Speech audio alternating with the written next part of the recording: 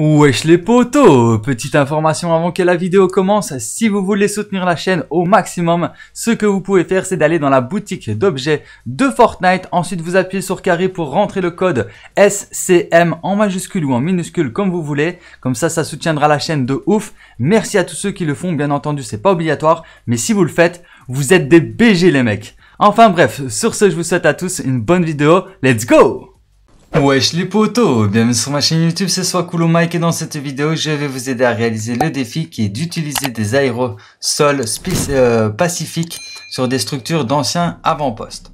Alors les, anciens avant-postes il y en a quatre au total, il y en a un qui est juste ici, voilà, il y en a un autre qui est juste là, vous pouvez le repérer, hein. il y a un petit euh, carré euh, à chaque fois sur la map, il y en a un qui est juste ici, donc là la zone je l'avais pas encore découverte, il y en a un juste ici. Et ce que vous allez devoir faire, euh, c'est d'utiliser les aérosols pacifiques. Donc, euh, je ne sais pas trop ce que c'est. On va voir de toute façon. Je pense qu'un aérosol, c'est un graffiti.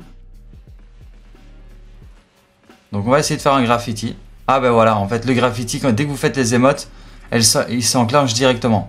Et ce que vous allez devoir faire, c'est soit le faire trois fois ah, dans le même aérosol, ouais, ok.